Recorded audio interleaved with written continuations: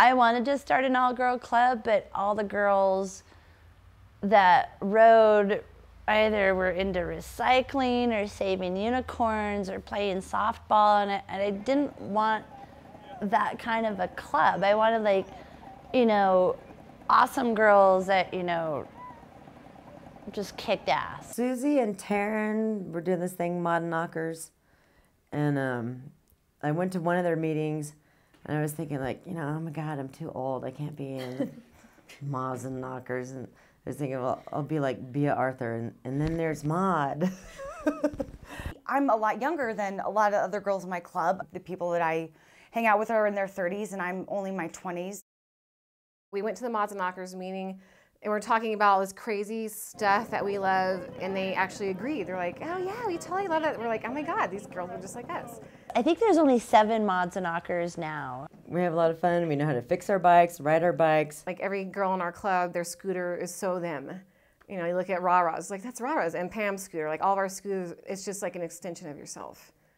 Love to ride, love to have fun, and don't depend on like some man to make you happy. We have fun on our own. I think that's another, you know, of our attitudes that we don't care. You know, we don't care what you think. We don't care because we don't care. We're not breeders, and to become a mods and knocker, we have to approach you. And it's usually after we've spent a lot of time together, riding, drinking, crying, laughing, and usually crying not from like boohoo, but like because we're laughing so hard. I, could, I can imagine that I would have had nearly as much fun riding scooters as I have being Mods and Knockers.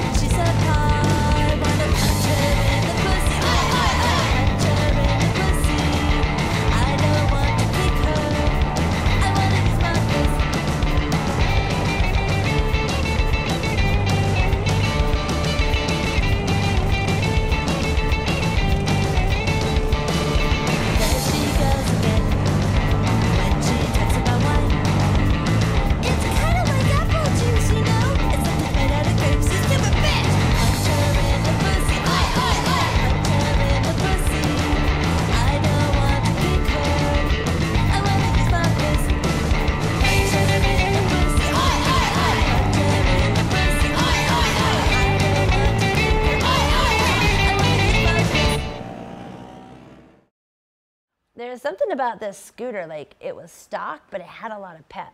So I got it the day before Halloween and I already had a death theme for it. It was like the Death Ba. They're gonna make it all, you know, skulls and crossbones. And it kind of freaked me out because when I got it, I opened up the glove box and there's all this crap in there. And I'm like, ooh, I got some new Olympia gloves, I got a toolkit, and there's this paperwork. And I'm like, well, what's this stuff? And one of them was just like the state of Colorado, and I'm like, well, that's dumb. And the next one was really colorful, and it's like, ooh, what's this one? And it was like certificate of death, and I was like, Ugh. It's kind of like you know when you like get your total at Taco Bell and it's six six six. You're like, I don't know if I should eat this or not, but that's kind of cool.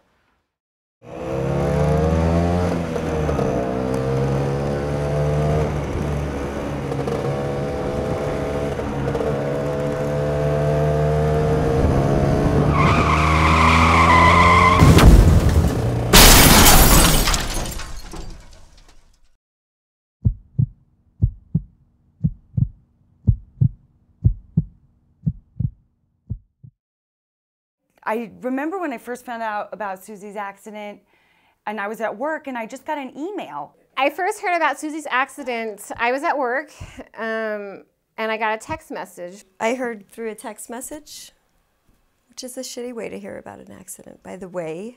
It was September 19th, and Ellie and I totally just moved in this house. And I was going to work, it was a Friday, and it was awesome. And I never take Logan because people go into their corporate jobs that suck. And I got a call from Ellie. Susie's been in an accident. I think she broke her knee.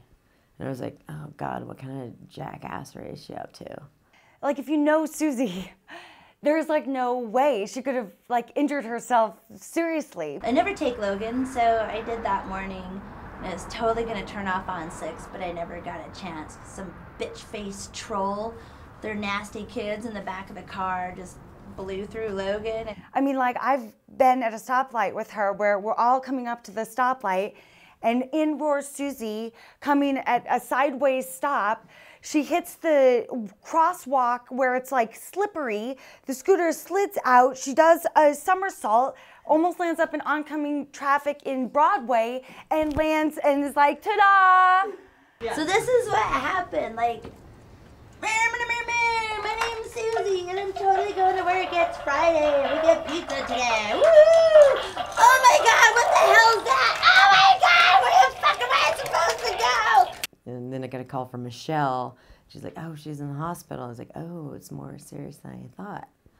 Yeah, so she totally went sideways, and then I put my head through the back part of her window and totally got stuck in there and went for a ride in the car, and it was like a the nucleus in this clumsy ballet that really sucked. And then as it progressed, it just now now she's like in intensive care. She went through the back, you know, hit, got hit by another car, was thrown into another vehicle, went through the back window.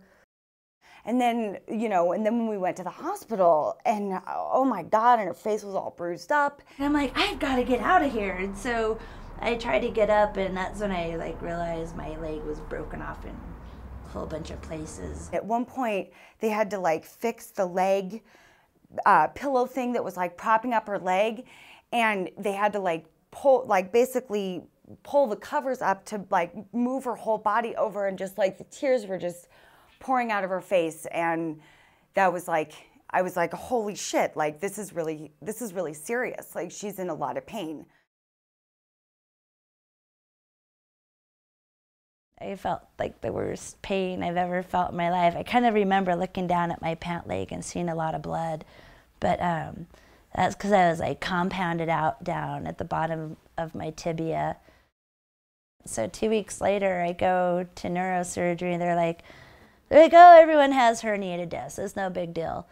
And then they look at my MRI. It's like the day of the accident. They're like, oh my god, and they slap a neck collar on me, which was frustrating because I'm already in a leg brace, and it took me two weeks to figure out how to jerk off with a, a leg brace on. Should I be saying this? Fine. Okay, this is my story. I am Susie. Yeah, so I go in, they, they find out I'm a millimeter and a half from severing my spinal cord. And the risks are if we operate, like you should be a quad right now, but you're not. But if we operate, there's a risk of you becoming a quad or dying. If we don't, there's a risk of you becoming a quad or dying. It's not like I had a choice. Recovering like really sucks, you know, because you can't do a lot of stuff. But I had like you know my awesome, my awesome like support group of my scooter family. The women in our club are like the most amazing women I've ever met. It's way more than a scooter club. It's um, like scooters are more of an afterthought. It's my family. For me, like the mods and knockers fulfill like that girlfriend sisterhood type of hole in my life. These are my my sisters, my family. I spend every holiday with them, and they're just the people I turn to. I when I was growing up, when I was younger, like middle school, high school, I was totally unpopular, totally like the outcast, you know, and I never, you know, like I would always have maybe one or two good girlfriends, but I never really got to have that experience of being a part of like a group, you know, and like being included, you know. So like I kind of actually, ugh, sorry, hold on.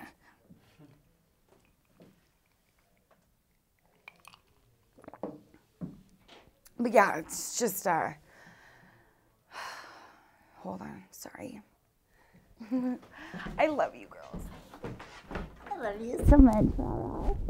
But those aren't tears That was vomiting stupid. out of your eyes. Can you believe that? I God. haven't cried once. This is awesome. I know. That's totally stupid though. Award. No, now I need a Kleenex, you guys. That was totally dumb.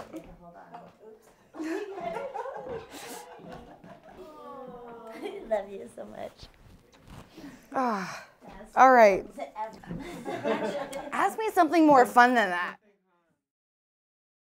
It's been just over six months now, and I'm looking pretty good. I'm starting to like, you know, get my muscles woken up, but every day is frustrating because you know when you wake up and you're in a bad mood and you're just like, every day is like that. That was when I buried her as her flower. Yeah. Poor little guy. You know, people say like, "Oh, you'll probably never ride a scooter again," but it's like, really? How many times have you choked on popcorn but you still eat it?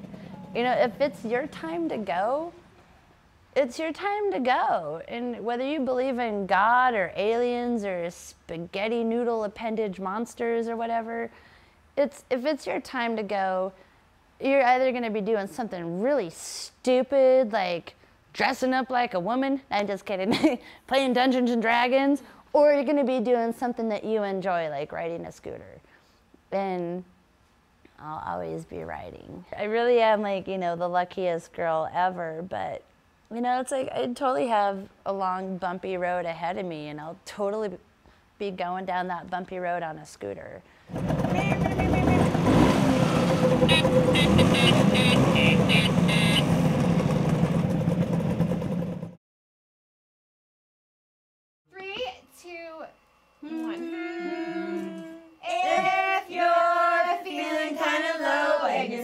To and fro, will you play me on the phone? Will you bring me lots of blow? Will you hold back my hair? Will you find my underwear?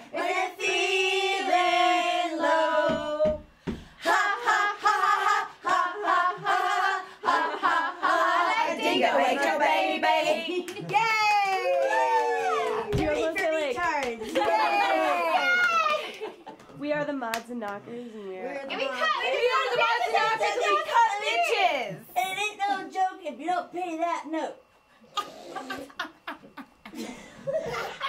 Uh, I haven't heard that one. I haven't heard that one. Yes! Are you